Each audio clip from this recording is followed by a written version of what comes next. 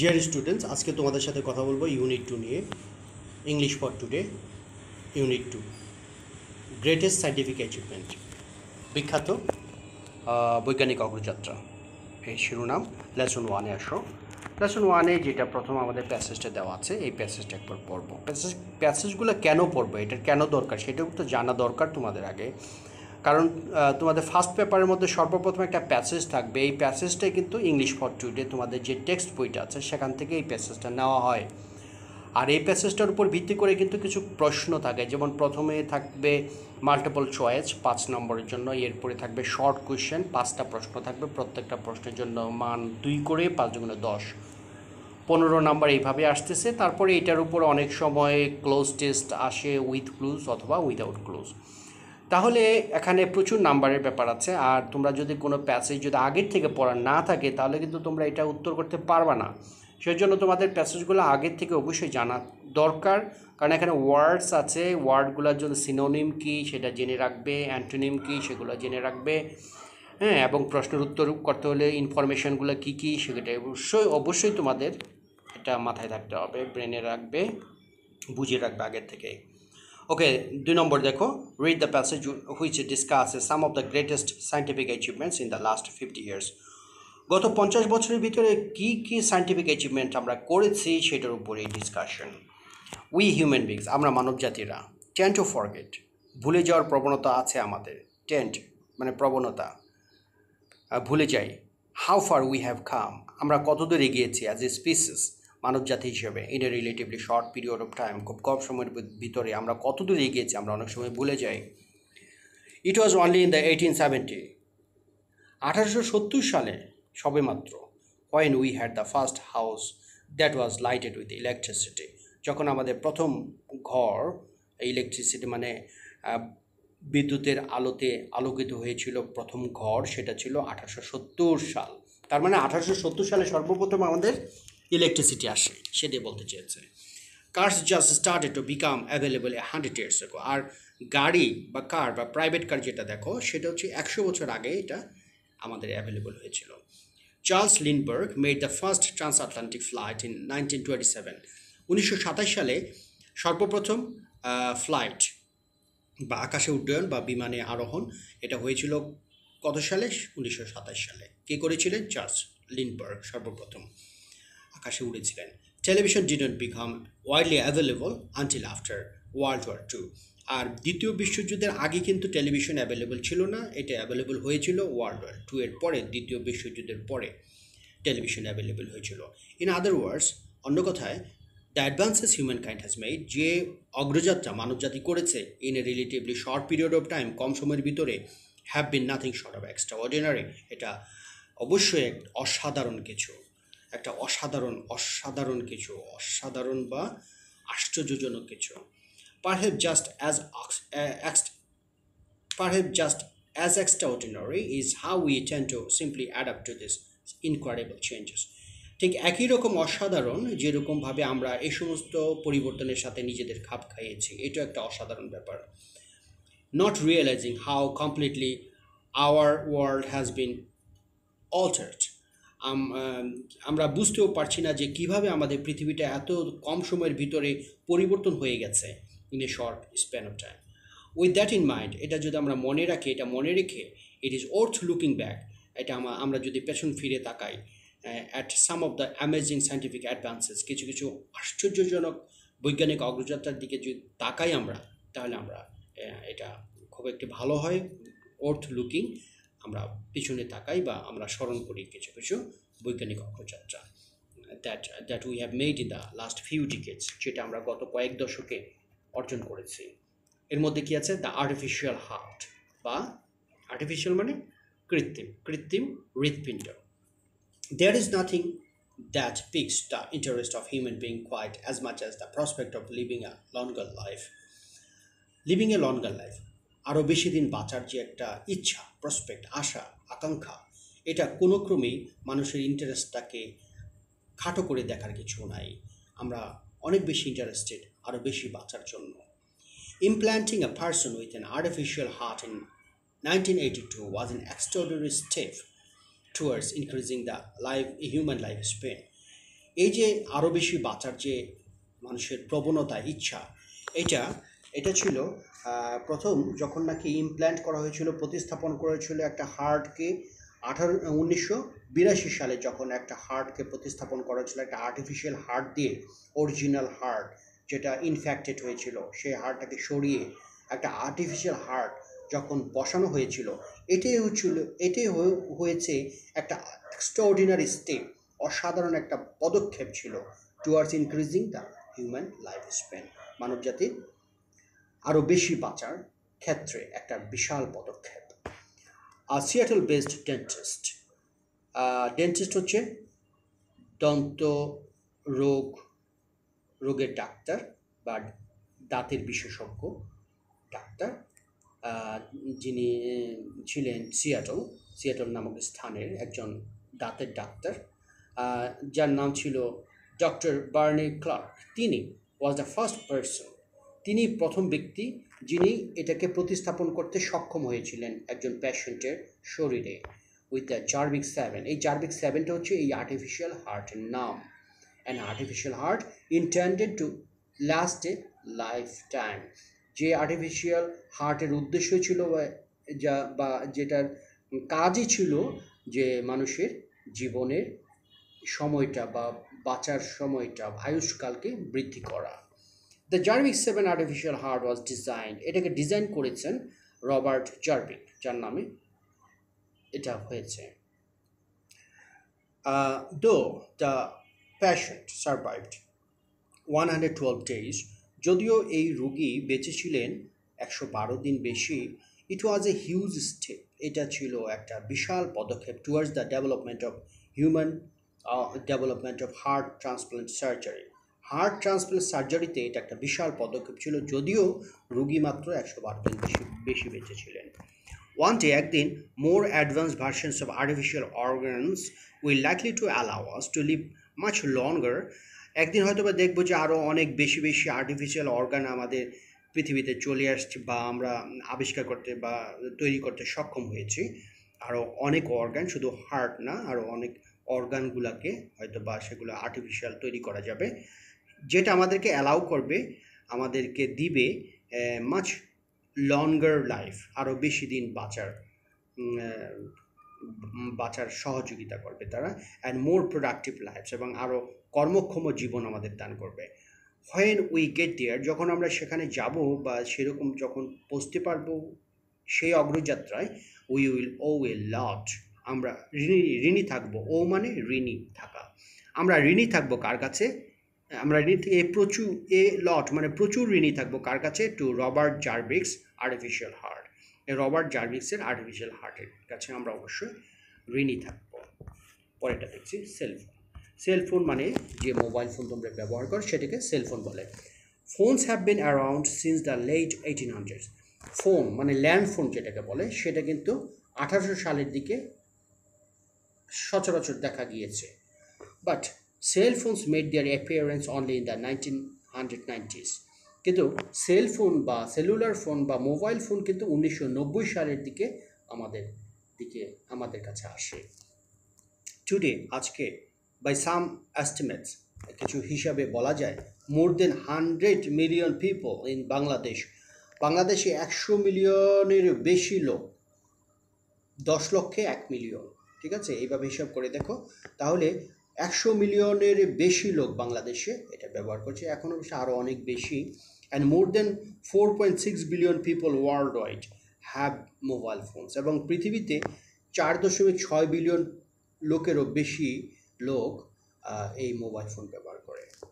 Anything that is useful and spread so fast has to be considered one of the greatest inventions of all time যদি কোনো কিছু আবিষ্কার করা হয়ে থাকে, যেটা মানুষের জন্য অনেক উপকারী এবং এটা দ্রুত মানুষের কাছে পৌঁছায় যে কোনো তথ্য, এটা অবশ্যই একমাত্র মোবাইল ফোন এটার দাবি করতে পারে বা considered one of the greatest inventions of all time এবং এটাকে পৃথিবীতে যতগুলো আবিষ্কার হয়েছে, সব আবিষ্কারের সর্বশ্রেষ্ঠ আবিষ্কার বলা যায় এই সেলফোন কারণ এটা এত বেশি ইউজফুল আর কোনো ইউজ আর কোনো আবিষ্কার এত ইউজফুল হয় না এবং এতটা দ্রুত ছড়িয়ে যায় না এই মানুষের হাতে হাতে। অন্য কোনো আবিষ্কার। ওকে আচ্ছা এরপরে আসো। জাস্ট টু ডিকেটস অ্যাগো মাত্র দুই দশক আগে মানে দশ বছরে এক টিকেট তো মানে বিশ বছর আগে in Bangladesh even land lines were difficult to obtain landline মানে ল্যান্ড ফোনের যে লাইনগুলো সেগুলো পেতে অনেক কষ্ট হয়েছিল লেট অন মোবাইল ফোনস আর মোবাইল ফোনের কথা তো বলাই বাহুল্য। টুডে আজকে people from all social strata use cell phones আর আজকে সর্বস্তরের লোকজন অল সোশ্যাল স্ট্রাটা সর্বস্ত, সমাজের সর্বস্তরের লোকজন মোবাইল ফোন ব্যবহার করে। From street vendors to business executives street vendor টোকাই থেকে শুরু করে। একদম ব্যবসায়িক যারা এক্সিকিউটিভ আছে তারা পর্যন্ত এই মোবাইল ফোন ব্যবহার করে। ইন লাক্সারি কার্স তারা হয়তো লাক্সারি কারে ব্যবহার করে, যারা এক্সিকিউটিভ আছে business executives and from villagers to urbanites এবং গ্রাম থেকে শহরে সব জায়গায় এই মোবাইল ফোন এখন ব্যবহৃত হচ্ছে। Since May two thousand fifteen দুই হাজার পনেরো সালের পর থেকে, দুই হাজার পনেরো সালের মে মাসের পর থেকে Bangladesh joined South Asian neighbours India, Bangladesh সংযুক্ত হয়েছে ইন্ডিয়ার সাথে, প্রতিবেশী ইন্ডিয়ার সাথে eight hundred sixty two million যেখানে আটশো বাষট্টি মিলিয়ন লোক ব্যবহার করে ইন্ডিয়াতে, আর পাকিস্তানে একশো বাইশ মিলিয়ন লোক ব্যবহার করে on the list of countries with one hundred million or more mobile phone users একশো মিলিয়নের অধ- অধিক যারা ব্যবহার করে সেই দেশের তালিকার মধ্যে বাংলাদেশও যুক্ত হয়েছে। এর মধ্যে পাকিস্তান আছে একশো বাইশ মিলিয়ন আর ইন্ডিয়াতে ব্যবহার করে আটশো বাষট্টি মিলিয়ন লোক। দ্য আদার কান্ট্রিজ অন্যান্য দেশ on the on the list R China আর চায়নাতে ব্যবহার করে ওয়ান বিলিয়ন ইউজার্স এক বিলিয়ন ইউজার রয়েছে। রাশিয়া রয়েছে, ব্রাজিল রয়েছে দ্য ইউনাইটেড স্টেটস রয়েছে, ইন্দোনেশিয়া রয়েছে, জাপান রয়েছে, Germany the Philippines and Nigeria এই লিস্টের মধ্যে আছে একশো মিলিয়নের উপরে। এরপর আসো দ্য পার্সোনাল কম্পিউটার বা পিসি টুডে আজকে উই টেক ফর গ্রান্টেড আমরা স্বীকার করে নিই যে that we have one machine আমাদের এমন একটা মেশিন রয়েছে that allow us to access the internet যেটা আমাদের ইন্টারনেটকে অ্যালা অ্যাক্সেস করতে অ্যালাউ করে। ডু ওয়ার্ড ওয়ার্ড প্রসেসিং আমরা ওয়ার্ড প্রসেসিং করি বা ওয়ার্ড লিখি ইউজ এ ক্যালকুলেটর আমরা ক্যালকুলেটর ব্যবহার করতে পারি ওয়াচ টিভি আমরা টিভি দেখতে পারি পিসির মাধ্যমে প্লে গেমস আমরা পিসির মাধ্যমে গেমস খেলতে পারি and do a host of other things এবং এরকম আরও অনেক কিছু আমরা করতে পারি। But the personal computer only become available to consumers in nineteen seventy four কিন্তু পার্সোনাল কম্পিউটার কিন্তু সবার কাছে আসে উনিশশো চুয়াত্তর সালে। Things really took off when Microsoft Windows was introduced in 1985 যখন নাকি মাইক্রোসফট উইন্ডো ইন্ট্রোডিউস করা হয়েছিল বা যখন বাজারে মাইক্রোসফট উইন্ডোজ আসে উনিশশো পঁচাশি সালে এবং ইটস এ গুড দ্যাট এবং দেখা গেল যে it it was since without the prevalence of personal computers এবং এরপর থেকে পার্সোনাল কম্পিউটার একটা বিপ্লব ঘটল। The internet wouldn't have had nearly as big as impact as it has ever since তারপর ইন্টারনেটটাও এতটা ইম্প্যাক্ট হয় নাই এর আগে, যতটা হয়েছে মাইক্রোসফট আবিষ্কারের পরে বা মাইক্রোসফট উইন্ডোজ আসার পর, পরে। দ্য ফার্স্ট কমিউনিকেশন সার্টিফিকেট প্রথম কমিউনিকেশন স্যাটেলাইটের সম্পর্কে এই প্যাসেজটা এখন people on earth may take for granted পৃথিবীর লোকেরা স্বীকার করে নেয় যে today's high tech world of cellphones আজকে যে হাই টেকনোলজির যে সেলফোন রয়েছে জিপিএস রয়েছে দ্য স্যাটেলাইট রয়েছে হাই অ্যাবভ দ্য প্ল্যানেট আমাদের গ্রহের উপরে, পৃথিবী নামক গ্রহের উপরে যে হাই স্যাটেলাইট রয়েছে that make instant communication possible যে স্যাটেলাইটটা আমাদের এই তাৎক্ষণিক যে কমিউনিকেশনটা হচ্ছে আমাদের বিভিন্নভাবে এটা সম্ভব করেছে একমাত্র কে? Satellite but it all began fifty years ago কিন্তু এগুলো সব কিছু শুরু হয়েছে পঞ্চাশ বছর আগে with one giant space balloon একটা বিশাল বেলুনের মাধ্যমে এটা পঞ্চাশ বছর আগে শুরু হয়েছিল। Ten July nineteen sixty two, উনিশশো বাষট্টি সালের দশই July, mark the birth of satellite communication. দশই জুলাই উনিশশো বাষট্টি সাল হচ্ছে স্যাটেলাইট কমিউনিকেশনের জন্ম সাল অন দিস ডে এই দিনে the Telstar satellite commenced, Telstar স্যাটেলাইটটা শুরু করেছে ইটস জার্নি, তার যাত্রা ইন্টু স্পেস স্পেসে and became the first ever active communication satellite এবং এটাই সর্বপ্রথম সক্রিয় একটা কমিউনিকেশন স্যাটেলাইট হিসাবে আখ্যায়িত হয়েছিল বা কাজ করেছিল। It carried the first live transatlantic TV broadcast এটা সর্বপ্রথম ট্রান্স আটলান্টিক টিভি ব্রডকাস্ট শুরু করেছিল। Telstar was built by a team এই টেলস্টারটা নির্মাণ করা হয়েছিল একটা টিমের মাধ্যমে। একটা দল ছিল। অ্যাট বেল টেলিফোন ল্যাবরেটরিজ যে টিমটা ছিল, অবস্থিত ছিল, তারা কোথায় ছিল? তারা কাজ করেছিল Bell telephone ল্যাবরেটরিজে in USA United States of আমেরিকাতে অ্যান্ড ইনকর্পোরেটেড মেনি ইনোভেশনস এবং এর মধ্যে অনেক কিছু তারা সংযোজিত সংযোজিত করেছিল, নতুন নতুন কিছু such as the transistor transistor সংযোজন করেছিল and the three thousand six hundred solar panels এবং এর মধ্যে তিন হাজার ছয়শো সোলার প্যানেল সংযুক্ত করা হয়েছিল দ্যাট পাওয়ার দ্য স্যাটেলাইট যে সোলার প্যানেলগুলা এই স্যাটেলাইটকে বিদ্যুৎ সরবরাহ করত। Telstar produced fourteen watts Telstar চোদ্দ ওয়াট বিদ্যুৎ উৎপাদন করেছিল and relayed its first and non public on eleven July nineteen sixty two সর্বপ্রথম যে টেলস্টারটা যখন উড্ডয়ন করা হয়েছিল, তখন এটা প্রথম যে কাজটা করেছিল, মাত্র চোদ্দ ওয়াট বিদ্যুৎ উৎপাদন করতে সক্ষম হয়েছিল এবং এটা সর্বপ্রথম পিকচারটা যখন সেন্ড করে পৃথিবীতে সেটা ছিল নন পাবলিক প্রাইভেট কিছু টেলিভিশনের ক্ষেত্রে প্রযোজ্য ছিল।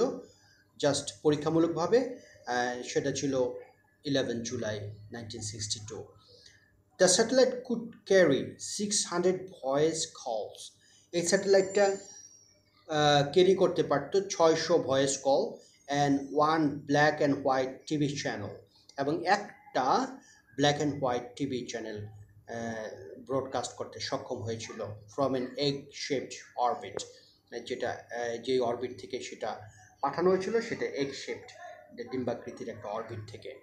টুডে আজকে we use satellite for GPS আমরা আজকে স্যাটেলাইট ব্যবহার করছি। কী কী কাজে? জিপিএসের জন্য টিভির জন্য রেডিওর জন্য ওয়েদার ট্র্যাকিংয়ের জন্য মিলিটারি সার্ভেলেন্সের জন্য স্পেস এক্সপ্লোরেশন মানে মহাশূন্য গবেষণার জন্য অ্যান্ড গ্লোবাল কমিউনিকেশন বিশ্বব্যাপী আমাদের যোগাযোগের জন্য এবং আদার কিছু অন্যান্য বিষয়ের মধ্যে সব কিছুর মধ্যে এগুলো আমরা এখন স্যাটেলাইট দিয়ে করছি। ওকে এরপরে আমরা মুন ল্যান্ডিংটা দেখি। চন্দ্রে অবতরণ।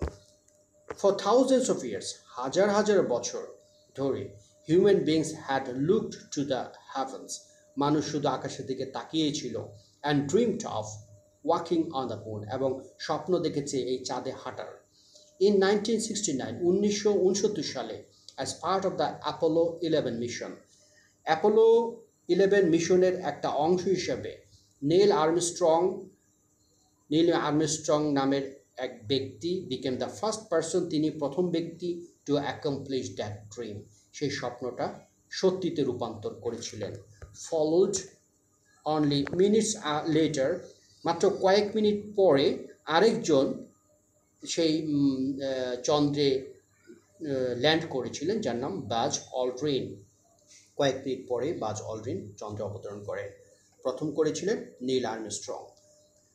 দেয়ার অ্যাকমপ্লিশমেন্ট তাদের যে তাদের যে কাজ, কীর্তি, যে কর্মটা তারা করেছিলেন gave people around the world সমগ্র পৃথিবীর মানুষকে একটা আশা দিয়েছিল হোপ দিয়েছিল hope of future space exploration মহাশূন্য, মহাকাশ অভিযানের একটা স্বপ্ন দেখছিল সেদিন থেকেই। ইনফ্যাক্ট প্রকৃতপক্ষে ইট ওয়াজ এ ফিট এটা একটা দুঃসাহসিক অভিযান ছিল।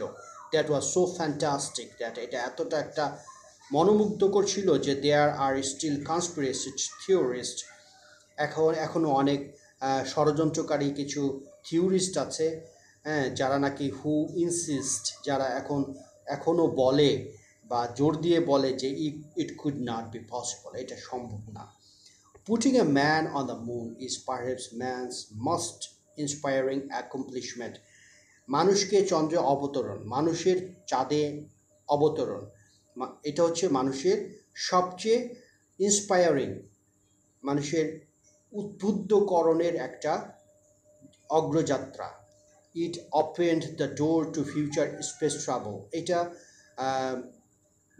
ভবিষ্যতে যে স্পেস ট্রাভেল আমাদের মহাশূন্যে যে আমাদের ট্রাভেলের ব্যাপারে, আমাদের ভ্রমণের ব্যাপারে, এটা একটা দ্বার উন্মোচন উন্মোচন করেছিল বা সহজ করে দিয়েছিল and led to a number of spin off inventions এবং অনেকগুলা আমাদের আবিষ্কার আমাদের সম্ভব করে তুলেছিল ইনক্লুডিং ফ্লেম রেজিস্ট্যান্ট টেক্সটাইলস এর মধ্যে রয়েছে, কিছু টেক্সটাইল আবিষ্কার হলো যেটাকে বলে ফ্লেম রেজিস্ট্যান্ট যে টেক্সটাইলে কোনো আগুন ধরবে না ইউজড বাই ফায়ার ফাইটার যেটা আজকের দিনে ফায়ার ফাইটার্সরা ব্যবহার করে বা অগ্নি নির্বাপক কর্মীরা ব্যবহার করে যে পোশাকটি, সেটা সেখান থেকে তৈরি হয়েছিল, সেখান থেকে ইন আইডিয়াটা এসেছিল।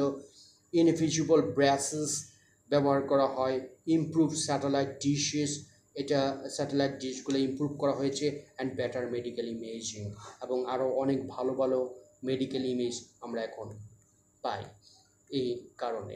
তাহলে আজকে স্টুডেন্টস এই পর্যন্তই। নেক্সট ক্লাসে তোমাদের সাথে আবার অন্য কিছু নিয়ে আলোচনা করব। আমাদের এরপরে আছে মাইক্রোচিপস নিয়ে আলোচনা করব ইন্টারনেট বা ওয়ার্ল্ড ওয়াইড ওয়েব নিয়ে আলোচনা করব, তারপরে আলোচনা করব, এখানে লেসন পরের লেসনে আছে আমাদের কি? দেখি আমাদের পরের লেসনে কি আছে। লেসন টুতে আছে science and technology against and age old disease সেটা আমরা নেক্সট ক্লাসে দেখব ইনশাল্লাহ তাহলে সবাই ভালো থাকো, ধন্যবাদ সবাইকে।